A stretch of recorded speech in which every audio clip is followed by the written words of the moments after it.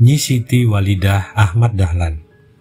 Beliau dilahirkan di Yogyakarta pada tahun 1872. Jasa-jasa Nyi Ahmad Dahlan di antaranya yaitu mengembangkan Muhammadiyah dengan berdakwah ke daerah-daerah, memperjuangkan persamaan hak antara laki-laki dan perempuan, mendirikan asrama-asrama untuk pelajar-pelajar putri, kemudian menanamkan rasa kebangsaan kaum wanita untuk mengambil peran aktif dalam pergerakan nasional. Tahukah kalian, walaupun beliau tak pernah mengenyam pendidikan di sekolah umum, namun beliau berhasil beberapa kali memimpin kongres dengan sukses.